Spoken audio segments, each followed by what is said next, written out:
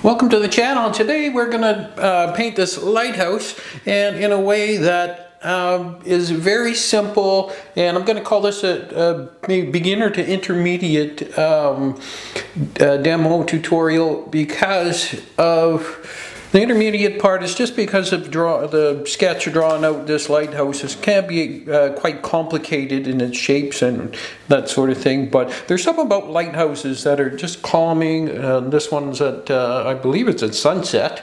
Uh, I can't remember, it's from uh, PEI somewhere, Prince Edward Island, Canada on the east coast.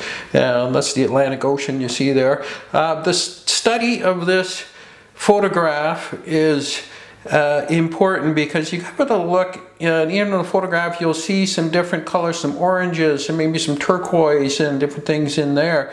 Uh, these colors here, the slight uh, variations in tone give you the shape of the bottom and the same with the top here. We've got really bright, medium and a little bit darker and then of course extremely dark for the windows. Um, the roof lines, it just, it takes a little bit of study to plan what you're going to do to this painting uh, or how you're going to go ahead and paint it and without overworking it and I'm going to work it from top to bottom when I paint this. This I'm going to paint with a large brush. I'm actually going to paint it with a flat brush today just to show you that um, less is more. Just make some nice uh, easy brush strokes on there and just let it paint itself. And then I'm going to use some salt. I've got some kosher salt and some rock salt here. I'm going to put it onto these rocks, let it, uh, let it paint itself and we'll see what happens. So let's grab our brushes and let's paint. Now the flat brushes I was talking about at the beginning I'm going to use are this uh, Allegro Sable Light. It's a synthetic uh, uh, sable like Sable Light they call it from Opus Art Supplies uh, in Canada here.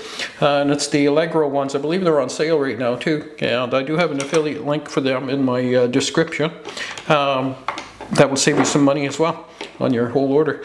This is an Escoda Versatile brush also synthetic and it's it's a it's a flat brush but it's very small you can see the tip of it and as you put pressure on it it squares up the sides as well and gets a little bit bigger. So you've got great control and you also use it this way and paint very, very fine lines. Nice brush as well. This is a uh, Princeton uh, sable, actual sable brush. I don't tend to use them much because they're super expensive and I find them a little bit on the soft side. They do hold a lot of pigment and I'd rather use the synthetic brushes now anyways. But uh, we're going to give this one a go as well and show you, show you what uh, we can do with it.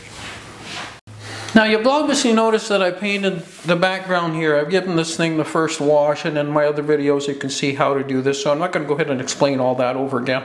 Um, but I will tell you that I, I wet the background first and then I did my graded wash down to here and I added some blues as we go as I went and uh, you gotta you gotta let it dry. You gotta paint it and let it dry not fuss with it too much. And then same with down here.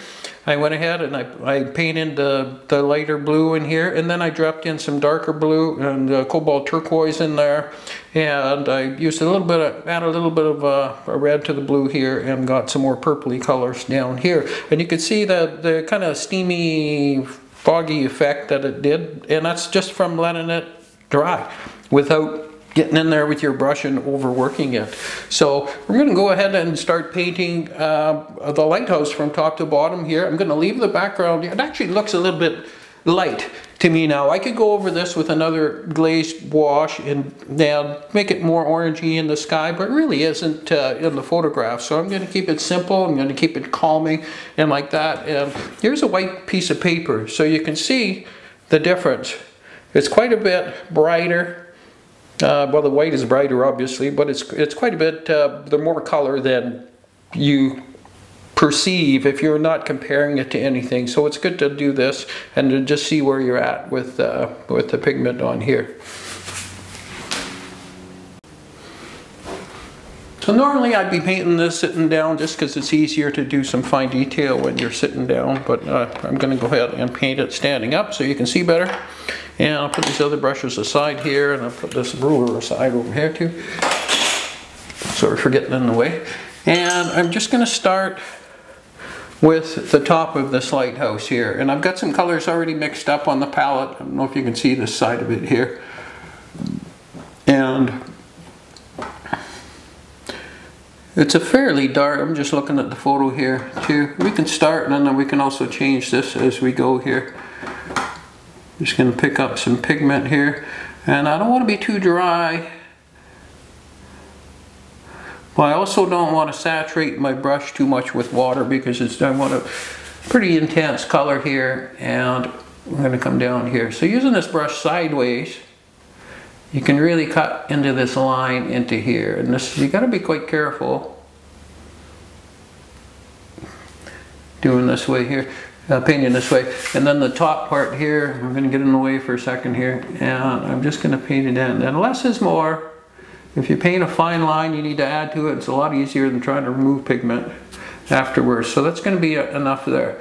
And then the rest of this, I'm just going to go ahead and paint that in. And as this dries, I can darken these panels. Get some indication of shape in here. And I'm not going over the sections that I paint more than once really here. It might look like it, but I'm just filling in the whites and I don't want any I'll leave a little bit of a white sparkle right there just for now and I can fill that in later if I don't want it. Um, and then coming down here, the rest is all red. I'll show you the picture here again. And it's quite dark. I'm going to end up putting another coat, another uh, layer over top of that to darken the areas that I want. But I'm basically doing, getting the, the lightest color here that I want.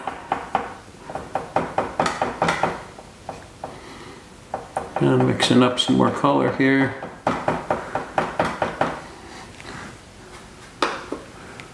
A little bit more red in there.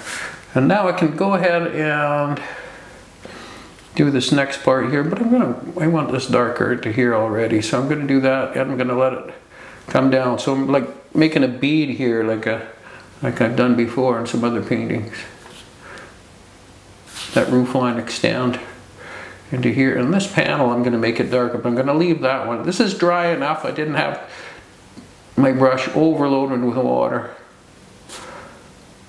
So it's to work out there. And then this, I'm still working with my bead here, letting it come down carefully. And this panel here is a little bit lighter, so I'm going to leave that just for a minute here as I come down the left side. Now it's easy to make a mistake when you're not when you're concentrating on making straight lines and things here. So I'm gonna go ahead and paint that right down. This is where the flat brush really comes in handy. You'll notice to get wider, I just push down a little bit harder on the brush. And I'm resting my hand on the paper, which is just fine because it's all completely dry. Let this dry overnight. And I'll bring this down here and into here like that. And then this is uh, under here. It's still brighter than that, so I'm just going to lighten this up just a little bit here. Just added a little bit of water to my brush here, that's all I did, and you can see where it's lighter there. And I'm going to leave a little edge here because I don't want it bleeding into this next section. Well, I plan to anyway. And this next little bit is really light color. So I'm going to kind of leave that right to the end. And then I need to bring that underneath here. Do this part here, down there.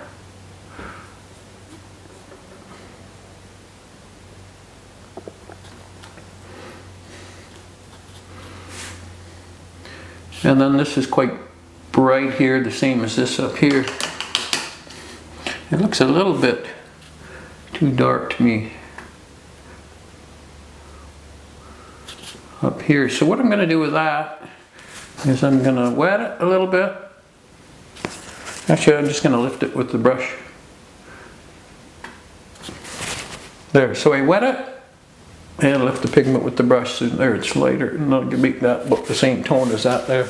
See, that works there. And then this roof panel here, I'm also going to wet it and pick up a little pigment.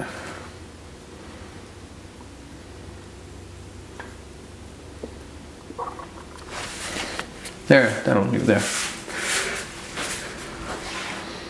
And that creates your different, you know, the different colors in the top little uh, panels there. So we're going to continue on here.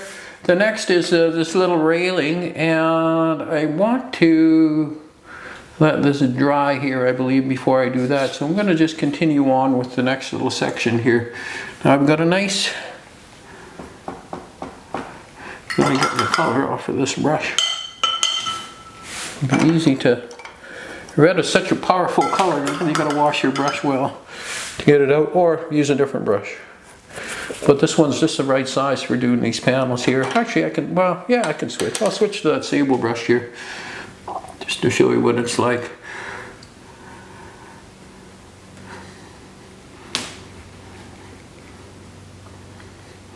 Pick up a little of this purpley blue that I've got in my palette mixed up here for this white, because white is not really white a lot of times. Go ahead and do that. Now I don't want that blending in there. And this panel here, and I can tell already I'm going to have to go darker in that panel there. And then this is quite white over here, but it's got a reddish, orangey tinge to it. So go ahead and paint the next section in here. That's the same color. And it goes right to there, down there. This, right to this line here. Not worried about that window because it's going to be dark. And that part there, I'm just going to leave that for now. Anything else here? Now it gets kind of orange as we go there, so I'm just going to go a little bit of neutral gray. I'm going to go ahead and glaze over this right away here and let it come down. So I put that, I mixed that pigment a little bit wetter and I'm just letting it come down into the wet uh, part here and it'll just blend itself like that. That's looking better. And then I don't want that, so I'm just going to pick it up with the tip of the brush. And then go ahead and glaze over this part here again.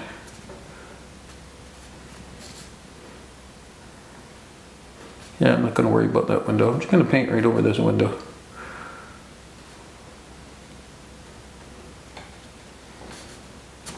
Run that down into this area here. I'm going to leave these two little white posts here, or lighter colored posts, I think. So, and that, that's all right down here. I'm just going to leave that for now till I decide what color to do this railing here. It's got a kind of a reddish hue. I was thinking about just dropping this in there, but there's some little sparkles. I can actually do that a little bit here. This brush is a little too big for this, so I'm just using the tip of the brush like this and I'm coming down just to indicate some rails in here and then I'll add some reddish hue to it later on or pinkish tone I think in there go ahead and put in a little bit more in there and fill that in there like that so up here I'm going to go ahead and mix a little color here and dry brush that in. And it'll have to be darker. Especially in here, in this area here.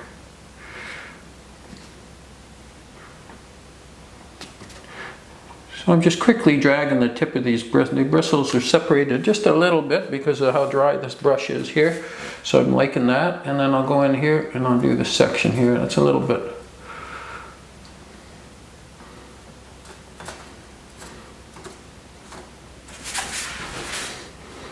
There we go, just like that. Okay, so the next part I'm going to do is I'm going to switch brushes again to the smaller one. I'm to do this roof panel here. Mixed up some color here. Some red, cobalt blue, and uh, uh, burnt uh, sienna, or burnt umber. and then you just change the hue as you uh, the tone of the change the hue as you need be for whatever color you're going to want this roof panel here. You can add a little red to make it red or some orange into there. That's looking pretty good. Um, so I'm leaving that. The next section is that white color and into here is just a light kind of orange glow from the sunset here. So I'm going to go ahead and I'm going to put that into here like that. Bit of a glow. Uh, same with this here. I might just let that settle a little bit. That's going to dry a lot later. I'm happy with it. That's fine. Um, and then into here, this panel here is a little more orange. From the glow of the sunset and these little bars into here, I'm just going to paint them in for now. Like that. And I'm going to glaze over this to change the color while it's wet. Go ahead, there's a little bit of an orange hue to this part here too down there. And all these sections, so. Go ahead and paint that in. Yeah, no, I'm just going to do that one like that. Just to give that sense of brightness in there. Now we've got a big contrast here. So I'm going to go ahead and change that color just a little bit. Just add a little bit of blue. There we go, kind of purpley blue. I'm just going to tone that down, the orange, a little bit here.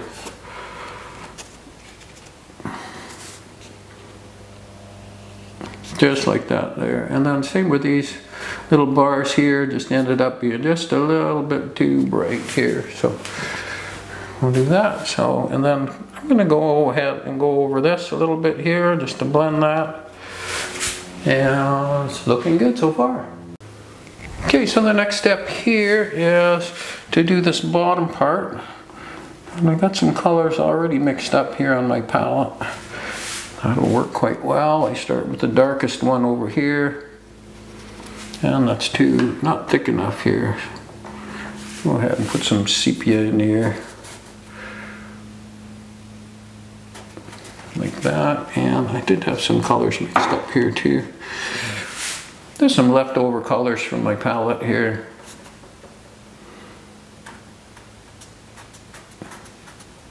I could use a bigger brush for this section here, but this is the one I have. Can do a little negative painting here. Uh, the uh, rocks down here are going to be a little bit darker, but I'm just going to make it look like some rocks in there. And this section here is needs to be darker and also with a little bit of red so or orange just like that and same goes with those rocks there went over that little edge there I'm just going to go ahead and dry that off so I just want a little bit brighter there yeah that's looking pretty good there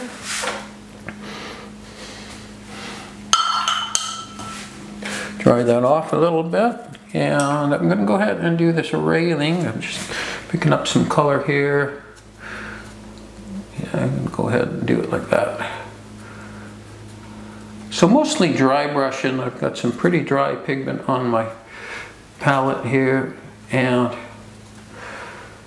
it's a zoomed in photo so it's kind of helping with the not get too tight on this because it makes it a little bit uh, pixelated there. So what that's looking good there. Just a hint, it just gives you an indication of this railing here. And go a little darker. You can do a little, few more little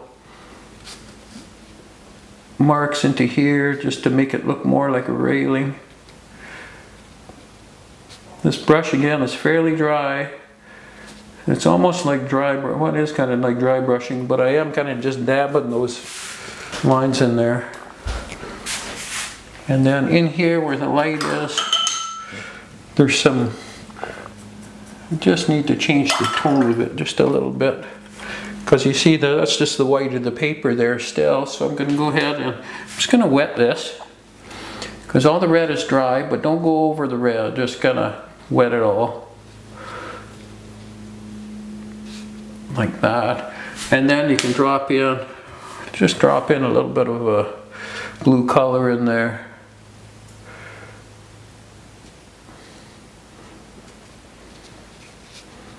Here and there like that, it just changes the tone of it. And then you can go a little bit more, a little bit darker. This corner into here. With the wet paper, it's very forgiving. If you don't like what it looks like, you can always just get out your paper towel or pick it up with the brush like we did before. So, looking good there. Okay, now this down here needs to be darker and it's dried sufficiently where I can go in again and put another layer in there. So I'm just gonna get some neutral tint, neutral gray. And looks like there's kind of a window down into here. So I'm gonna put that in like that. And the bottom of this railing is actually quite dark. There's a shadow under here. Take that right to there. I'm going to take it right out to here. Bleed down. There's a little bit of a shadow under there too.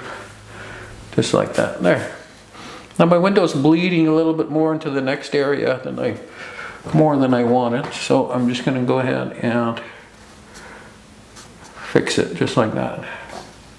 That's dark.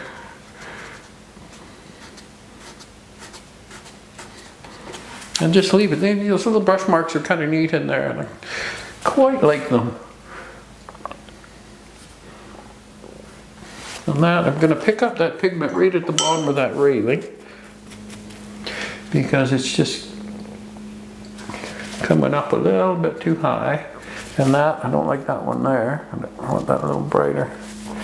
That's actually not bad right there. But just drag it down a little bit and blend it in like a shadow there and then same with these ones here I'm just wetting the paper below there and I'm gonna let it come down and it's looking good there so far okay looking at the left side here looking at the studying the photograph again I'm gonna show it to you again here you can see the left side here just you need to be aware of the tonal difference here the uh, value difference so this is quite a bit darker than that and I haven't quite achieved it yet in the colors that I used here. So all I'm going to do is glaze over the left side there again. And I'm going to use a little bit bigger brush here to do that. And make sure I'm using the right color. So it's just a little bit of blue. And I'm just going to go over that again. It's right from the top here. And you can do this incrementally. You don't, don't need to go crazy in the color the first time you go in. And then that way it'll let you adjust things later on. Adjust the values. So I just put a little bit more into here by just, I'm just touching my brush there and then letting it run down. I know it'll run to where the wet is right here and that's it. It won't go any further.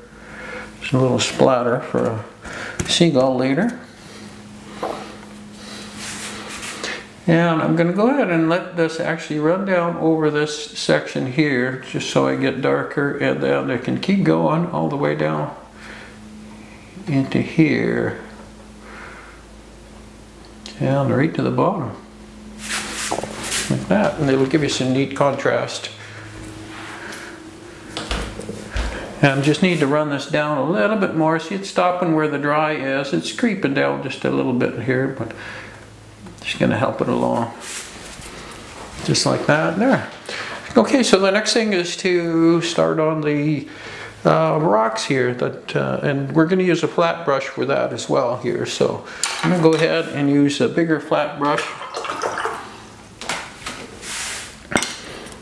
for the first. The bigger the brush you use, the uh, less overworked your painting's gonna, gonna kind of look because it almost forces you to make nice powerful brush strokes in here and and just the shape of these strokes gives you some little some details. I'm going to go ahead and paint that right in there like that. Get a little darker. Now I did say there's some, you know, there's some neat colors that you can see in here. And it's important to, to paint wet and wet when you're doing this kind of thing and it makes it look less overworked. And I'm going to go ahead and do this over here carefully. I can see my lines I painted. And go ahead and come across like that, yeah. Like that. And I'm going to change the color a bit.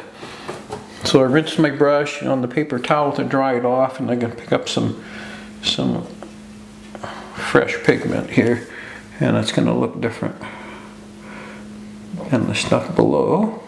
And you can use the corner of the brush to make your little details so you're not just painting flat. Kind of like that there. And I'm just going to leave some white sparkles and the reason is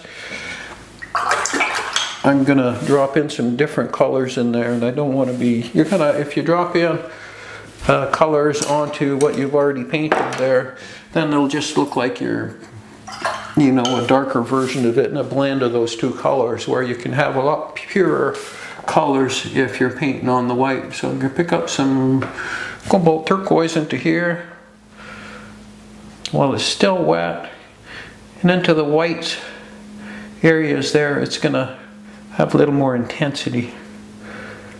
That's it. It's quite dark down here.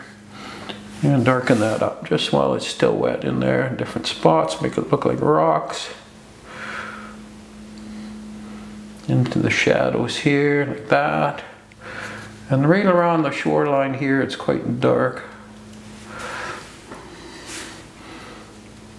and just picked up some more neutral gray and there leave it darker there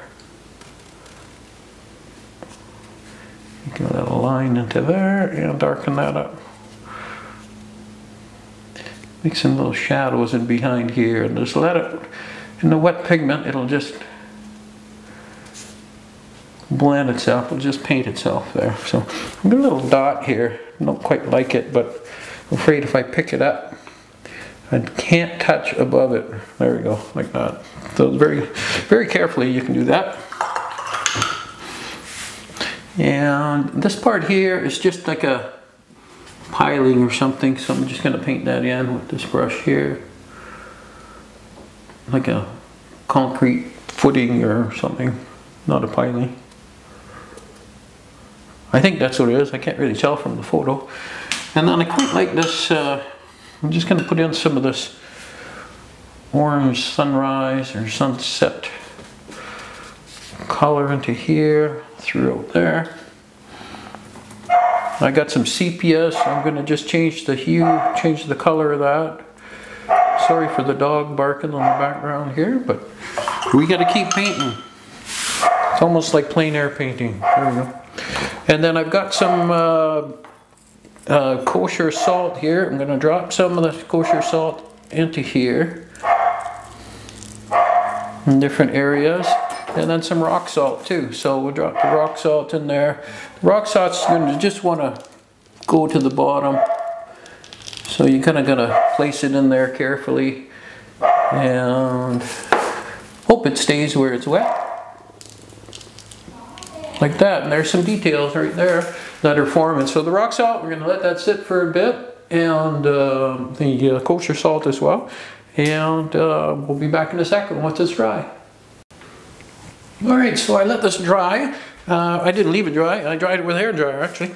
And but I, I did uh, let it sit while I was painting the other things for you know, on camera and uh, maybe a little bit longer so that the salt could dissolve a little bit and then give you the nice effects. But I think it's done its job here, so I'm going to go ahead and paint the rest of it here. And then basically all that's left are little details and you can go, you know, darker on the rim here. I'm just looking at the actual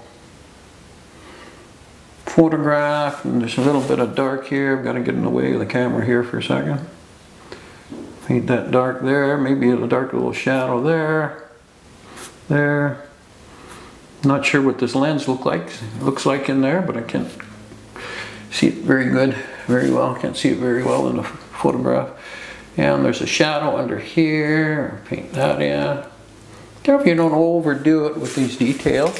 This window here is, is dark, so I'm just going to paint that in dark. You can hear my hand getting into the salt here and the salt hitting the floor, I think. That's what the weird noise was. Now this would be easier to do with a small flat brush as well, but you're careful, you can get it done here. And any small things like this, you still want your bead and then just let the paint come down into the wet and it'll look more natural.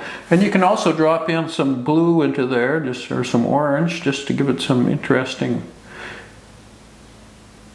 color variations. And that goes right about to there. And we get a little bit more into here.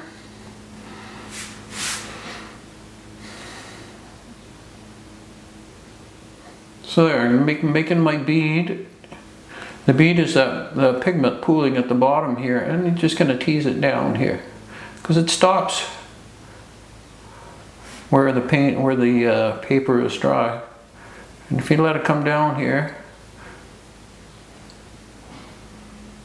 it'll give you a nice effect. And see the pigment is pooling at the bottom, so I'll go ahead and dry my brush a little bit here. I don't have to remove the pigment that's on there or wash it. I just gotta dry it and then pick up the excess like that. So I will drop in, I'm drop in a little bit of cad orange here. for interest in these windows. Maybe a little bit of cobalt blue. Whoop, that's way too much cobalt blue. A little bit of cobalt blue.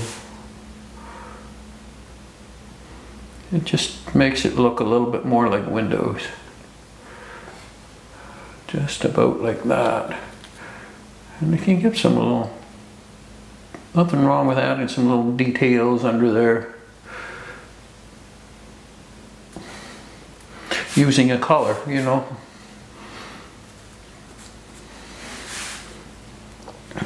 Just like that. And I'm having a look, another look at the painting here, or the photograph I should say. Looking for more detail to put in.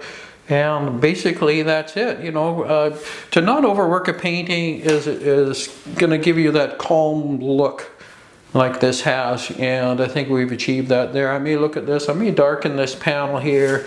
Um, this looks like kind of one, I'm just studying the photograph as I'm looking at this too to give you some sort of analysis of anything that needs uh, painting here. Actually, I'm just going to go in, I got some gouache, I saw this here. These uh, windows are just reflecting white I think they're windows and there's a little bit of something reflecting white there. So with the gouache, we can just give it the little highlights that it needs. And this is again something you don't want to overdo. And I can do the real roof line here as well, but you don't want it disappearing too much against the uh, sky here either. So I've got to get my hand in the way here. I'm just putting a little bit of white gouache on the right side of that right there. And this panel, I'm going to brighten this panel up here. Well, thanks to all the new subscribers and existing subscribers. If you haven't subscribed yet, uh, please do. It helps out the channel and uh, get views and post more free content. And I do have affiliate links in the descriptions for uh, uh, three art suppliers that'll give you a discount when you order. You can check those out and there's also my uh, the list of materials that I normally use on there also if you choose to have a look. And just going to brighten that side up too there and this one here for the heck of it and a little bit detail. So that's it. I've got to hold back and not uh, overdo that gouache in there. So I think it's pretty much done. Thanks for joining me. We will see you next time. Have fun painting.